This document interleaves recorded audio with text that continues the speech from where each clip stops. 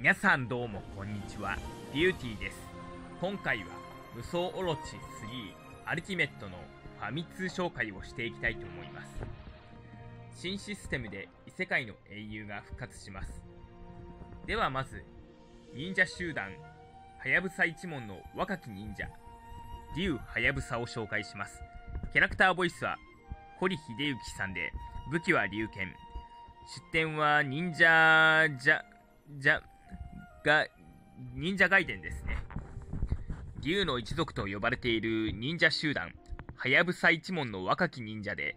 幾多の戦いを乗り越え続けた強敵で、いつからか町人と呼ばれるようになりました。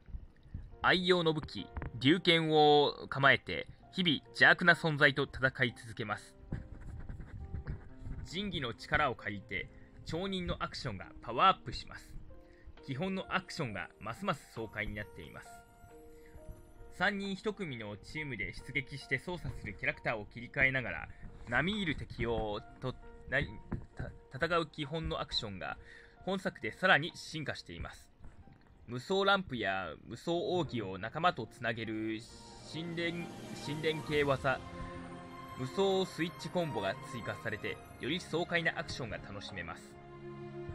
では続きまして、えっと、ギリシャ最強、最強の戦士、アキレウス。キャラクターボイスは、カンナ信俊さんで、武器はサイフォス。出典はトライ無双です。ギリシャ軍最強の戦士で、名誉と名声を求めて、トロイ軍の数多くの将を刃にかけます。猛進で血に飢えた戦いぶりから敵のみならず、味方からも死死と恐れ、恐れられています。まあ、生粋のパワータイプということになりますね。最高の戦士が異次元の世界に参ります。えっ、ー、と、神器と呼ばれる武器を使った真術アクションも強化されています。本作では、キャラクターごとに固定だった神器を付け替えられるようになったほか、新しい武器も、神器も登場します。これで新しいアクションが楽しめるのはもちろん、人技と操作キャラクターの相性を考慮して、長所を伸ばしたり、短所を補ったりできます。まああの、短所を補うことによって、その、その弱点をカバーして戦い、使いやすくできます。逆に長所を伸ばして、まあちょっと使いにくいんですけど、まああの、使いこなせばかなりの性能を誇るという状態になります。まあ、どうするかはその人次第ということになりますね。まあ、その両方を伸ばして、なんとかあの、カバーしながら、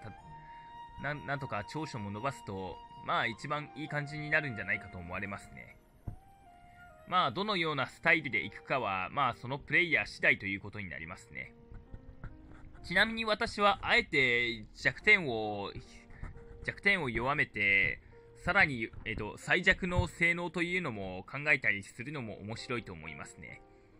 まあ、ちょっと何て言ってるかは、何を言ってるのかわからないような気がしますけど、まあ、あの、今回はこの辺で、無双オロチ3アルティメットのファミ通紹介を終了していきたいと思います。見てくだ、見てくださった方々、ご視聴ありがとうございます。チャンネル登録及び SNS での拡散をよろしくお願いします。